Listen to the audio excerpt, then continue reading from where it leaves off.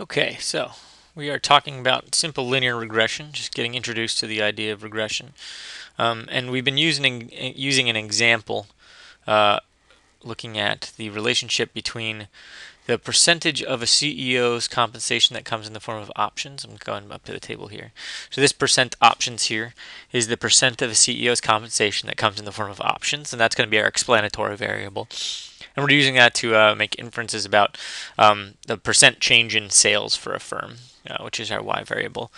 Obviously, you know, the regression works for lots of other situations, um, but what we're looking at where we ended up um, when we left off last time was talking about the uh, estimated regression equation. So, a regression equation, uh, what we're really trying to do is we're trying to make an inference about uh, the conditional mean conditional expected value of y, meaning that if we know x, what's our best guess for what y is? Um, and uh, the true relationship involves population parameters alpha and beta, and this is our um, this is what we call our regression equation. And this is what we're trying to estimate. Now you'll notice that this doesn't have the error term in it. That's fine. Uh, we're going to assume that that error is random, right? So it's essentially unknowable. Um, but except for the randomness, we're gonna we're gonna try to estimate the rest of it, right? So that we can come up with our best guess. Uh, what we called this before was the uh, estimated regression equation, um, which has y hat on the left, which is the this y hat is the uh, predicted value of y, and on the right side, then we have our estimators. It's going to be equal to a plus bx. Right? This is the estimated regression equation. And it'll always look something like this. Although in practice, if you want to write it out, sometimes it can be useful to uh, write it a little bit differently, um, where instead of y hat, you have the actual name. So we could call this, uh, what are we trying to describe? Percent change in sales hat is equal to A plus B times percent of a CEO's compensation that comes in the form of options. And so that's our estimated regression equation for this case, where our predicted value of sales uh, is the part that excludes the error term, right? So that's going to be the mean of the distribution. Um, and essentially what this says is that for any given x, there's a distribution of possible y's, and that distribution changes, right? It changes by this beta. Um, which changes the location of the distribution. Uh, but at the same time, the actual value of y is drawn from that distribution, right? Because there's an error term that's going to modify that. Okay, now uh, we looked at what some examples of this might be once we get an estimate of a or b. Um, and what we're going to do now is we're going to look at uh, the least squares approach, which is the most common approach um, that people use. The least squares approach to simple regression. How do we get A and B? Well, that's what we're going to look at. So it's a pretty simple idea. What we want to do is we want to get as close as possible to alpha and beta. Um, which means we want to, what we're going to do is we're going to have to define a good fit. So what's a good fit? Well, the way that we're going to define it is we're going to define how far away we are, right? So let's say we for an individual person, we have a, an individual observation of y, call it yi, right? Individual person or data point. And then we have our predicted value of y, which is y hat i, right? Well, the distance between these two is going to be yi minus y hat i. Um, and that's useful. The only problem is that if we don't if we just use that, then we'll have uh, being too high or too low will offset each other. So we don't want to do that. We don't want um, big errors above and big errors below to offset each other. So what we can do is we can take this and square it, just like we did with like standard deviation uh, or variance. We take this and square it. Now what we have is a squared deviation for observation i. What this means is that, uh, well, first of all, it heavily weights uh, larger uh, differences. That's one thing. And the other thing is that they're all additive, right? These are all going to be positive because they're squared. And so if there are big differences, um, then these are all, then they're going to add up together. What we can do now is we can sum these, right? This big sigma is a summation symbol from i equals 1 to n. And what we're going to try to do is minimize this, right? Because this is a measure of how far away we are. We're going to try to get as small as possible. Now this is uh, good. Why is this good? Well, in principle, this is going to be minimized when alpha, when our estimate for, or uh, when our estimate of alpha, which is given by A, is equal to alpha, and our estimate of beta given by B is equal to beta. When those are true, this is going to be minimized. Now, there's going to be some error term, um, which is going to be problematic, but uh, if we do choose this choose this correctly, um, exactly correctly, then all the the only difference here is going to be the uh, squared error terms, or epsilon, not e. Sorry, that should be epsilon. Uh, let me just scribble that out. So if we do this exactly correctly, then we have our squared error terms is the only source of this error.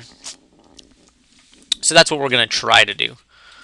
Um, once we can do that, we'd be in, we'd be in good shape. Okay, so how do we find the best estimates of alpha and beta given our data? Um, well, we use calculus. Um, I'm not going to go through that now. I do recommend looking in the appendix in your book or Googling it. Uh, it's worth looking over once. It's not, you know, even if you're not comfortable with calculus, it's worth a look probably. If you are comfortable, it's really worth a look. And it's only one page to show that, uh, to figure out what values of A and B are going to minimize this. Essentially, you plug in the uh, equation for this and the equation for this, and then you and then you minimize this. If you do that, these are the estimates you get. These are the formulas we're going to use. So B, which is our estimator for beta, is going to be a fraction.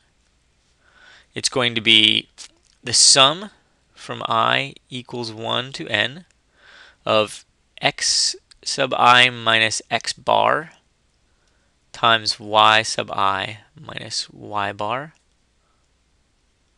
There we go, do that. Over the sum from i equals 1 to n of x sub i minus x bar, that whole quantity squared.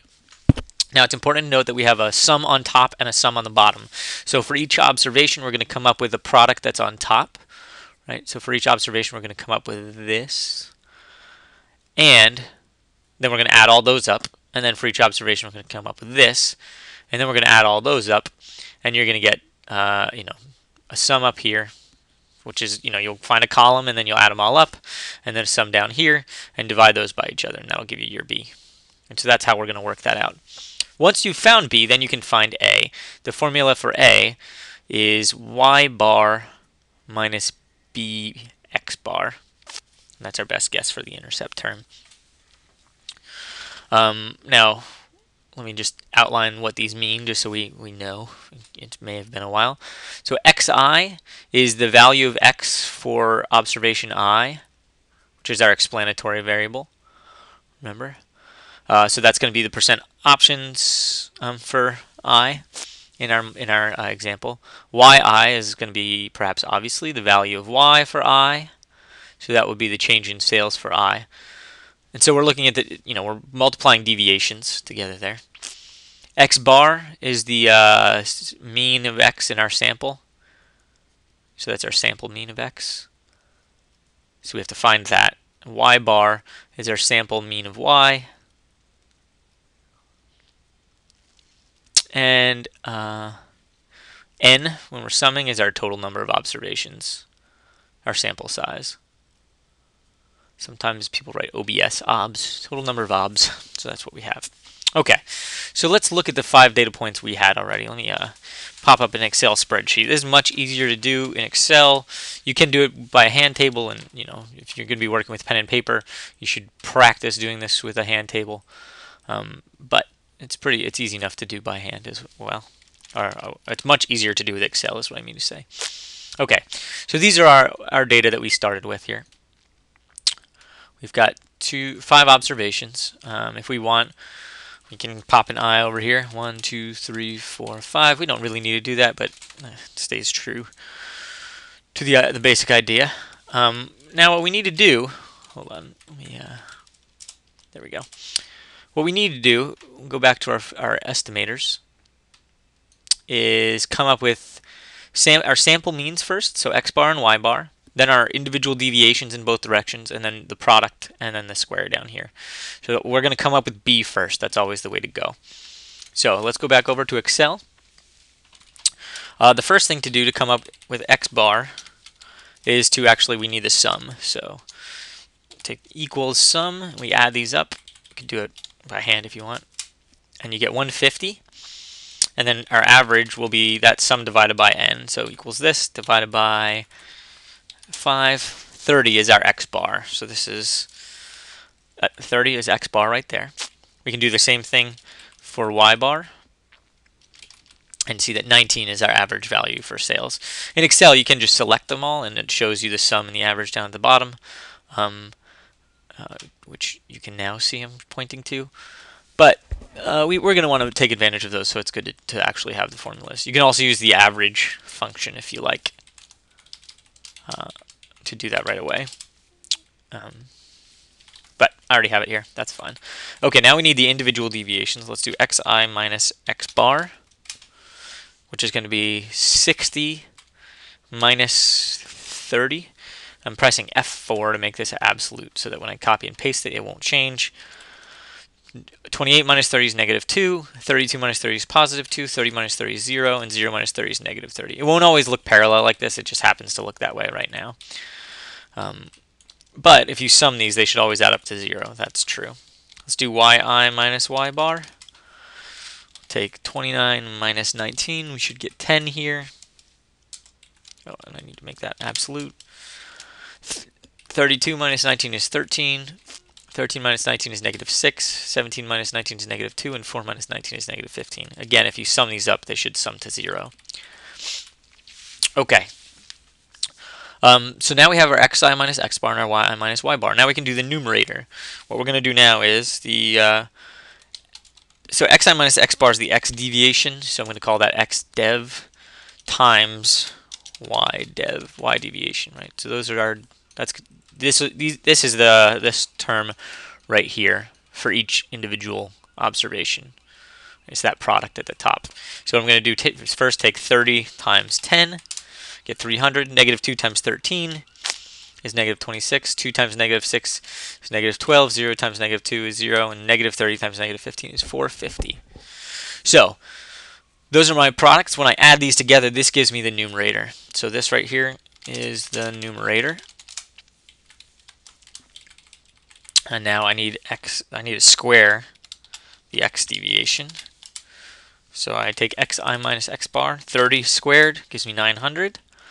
Uh, negative 2 squared is 4, 2 squared is 4, 0 squared is 0, 30 squared is 900 again. Um, and I sum these up to get the numerator. Uh, this is the denominator. Okay, so now what I've done is I've calculated this sum and I've calculated this sum, so I have these. If you look, you can see that this bottom part is always going to be positive, right? Because even if these were all negative or if some of them were negative, each individual term is positive. That is not necessarily true for the top, right? Because we're not squaring. So if this is positive and this is negative, the top can be negative. The sign of the top of this fraction is going to determine the sign of uh, beta. And it has to do with the, the pattern with which uh, x deviates from the mean and y deviates from the mean. If they deviate in the same direction on, in general, then b is going to be positive. If they deviate in opposite directions, then b is going to be negative. And if they kind of switch back and forth, then uh, then that's when you get kind of offsetting entries.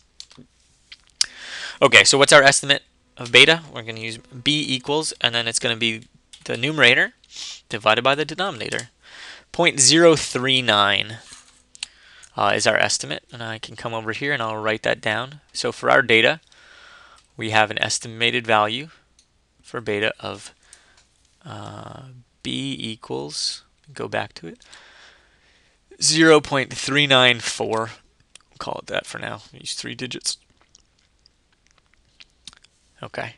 Now we want to know what A is. Well, A is going to be, remember, y bar minus b x bar, which is to say we take the, the average, you know, on average, where what would uh, what's the difference? So we have y bar right here, that's 19. We have x bar right here. So A is going to be equal to y bar minus b times x bar. And because that's got some rounding issues, we can uh, just make sure that we've rounded properly. 0.394. Try it again. We have y bar minus b times x bar. That gives us 7.18. So 7.18, 7.19, um, either of those is going to be fine, right? We're, we're not, if we want, really want to do this, we're going to use a more powerful statistical tools, not, not by hand. But for, for our purposes right now, to understand how this works, either 7.18 or 7.19 is fine. I'm going to go with 7.19 because technically that's a little more correct. So we have this is 7.19. So if you ever have to write the estimated regression equation, which uh, you will on an exam, for example, the estimated regression equation should look something like this. Either y hat equals 7.19 plus 0.394 times x or uh, percent change in sales hat equals 7.19 plus 0.394 times percent options. And that's our estimated regression equation, which is to say that's the best uh, that's the best possible guess we can make with our data, which is really good, right? I mean that's that's pretty that's pretty excellent. Um, we've done as good a job as we possibly can do uh, with our data. Now, if we put this data into Excel and make a scatter chart, uh, we can use Excel to do this. So let's look in Excel. Well, there might be some rounding error. But if you select our data, go to Insert, uh, Scatter, and put click on the dots, it'll give us a scatter chart. So this is change in sales. Now, if we select our data set and right-click, you can click Add Trend Line. Now if we go down to the bottom, display equation on chart, click close. Oh, and that's that's our equation right there, right? That's pretty much that's pretty close to what we got, right? 0.394 times x plus 7.19. So the, just the order is reversed. Um, but that's that's good, right?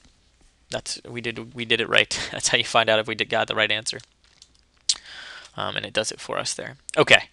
Now one of the most important parts of this is our estimate of beta. Uh, it tells us something very useful about the underlying relationship, um, and our estimate is given by 0.394. What that says is that for a 1 percentage point increase in options compensation, so you know going from 10% of CEO compensation to options to an 11% uh, of CEO compensation as options, we should expect on average a 0.394 percentage increase in sales growth. Um, really, that's not saying that does this mean that stock-based compensation increases sales growth? No, it doesn't. It might might go the other way around, right? Um, we we can't tell which direction uh, is causal, if anything. Um, but it does say that they're correlated, right? So that firms that have higher, uh, larger proportion of their CEO compensation as options tend to have uh, higher growth in sales. Um, we'll talk a little bit more about uh, correlation and causation as as we go along. Um, but just because these two variables are related, they move together, that doesn't mean that the explanatory variable causes the dependent variable. Um, what we're measuring is just uh, the correlation. Right, so this is what we're really measuring, is the correlation. In particular, we're we are measuring, we will be measuring the partial correlation as we get to multiple regression. But we're talking about correlation, not causation. All right, so that's how you uh, estimate our simple regression equation. Um, and what we're going to do next is figure out how how wrong we are, right? So we know we're off. We know it's inexact. Um, but can we conclude that this is our point estimate of beta? Can we conclude that in the population beta is different from zero? We're going to have to learn how we do that next. I'll talk to you in a moment. Bye.